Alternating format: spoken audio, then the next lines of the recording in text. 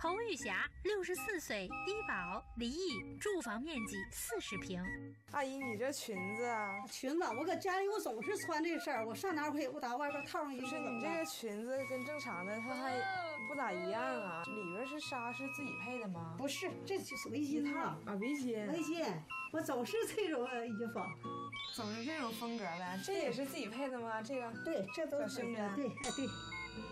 这一看，这侯阿姨和咱江叔一样，也是个非常爱打扮的人啊。家里也也没什么背景，搁这住，反正就依靠画画为生。依靠画画为生？嗯，就墙上挂的画都我们画的。嗯，在哪挂的？那搁那画都我们画的，那画我家还还有。这是你自己画的呀？啊，对呀，这是大画啊。啊，那都裱了，你看那画了。呀，我画的这边画。还有吗？还有，有没挂？我家这块还有。我家那个老头啊，他是专业，他专业，我不专业。啊，他这画的这么好，还不专业？真是。不专业。这个图是？这图画的是？这这都是《红楼梦》仕女图。仕女图。哎，仕女图，单立人搁。就是，嗯，四个四吗？仕女图，啊，仕女图。这个是谁呀？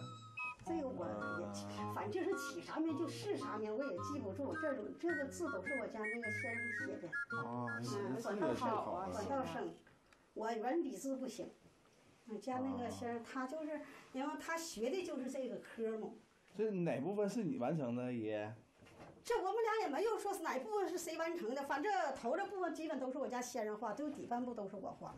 原来阿姨喜欢画画是因为之前的老伴儿，他们之间又有着怎样的故事呢？那你现在还画吗？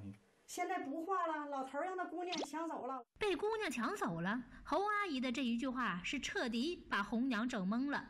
就是就是后来这个老头他就家姑娘儿子都不同意，父亲、姑娘、孙子儿子都来作，强把我对付过这二十年。原来呀，咱这侯阿姨在这之前经历过一段长达二十年不被子女祝福的二婚经历。这不同意，后后来他就说的同不同意，我得有个家，然后跟孩子待不了嘛。这么过完，姑娘儿子总来作了。侯阿姨说呀，虽说这日子难过一点，但因为两个人兴趣相投，所以啊，现在记在心里更多的是曾经的美好。这是我们在浙江义乌西湖公园嘛。这个也是，那时候也没有影集啥的，相机、相相相机，我就找别人我说拍一张照。我们很少走上旅游景点不去，就是搁大街上，我整个车子摆的像，完然后就坐那里画，有游人就画，画完了要是没人画了，我俩捞着车就接着再走，我也不坐车，也熟悉熟悉那里地方嘛，啊，完就从哈尔滨那时候开始走，一直往南走。就坐车就下车，下车到那块儿，像哪个城市里下来就坐那里作画嘛。做完画了，完就要没有人画，我俩接着坐车再走。啊，一路就这么一路哎，就往南走啊，边走边画。去年我俩的约会，我说来年呢，哪块都不让咱们俩待了，咱俩就不画了，不画咱俩背着画夹吧，咱俩上云南上大理，那咱俩连旅游到那里溜达玩玩。要一天两个人活吧，挺浪漫的。完然后呢，你在外边花挣的钱也够吃够住。完挺有意思的，嗯嗯。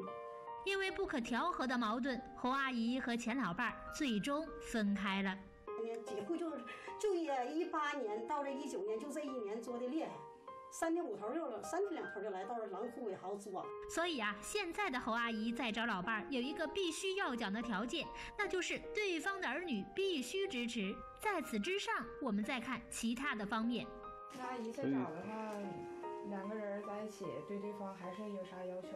对对方啊，干净利落就行了，也没有太多的要求。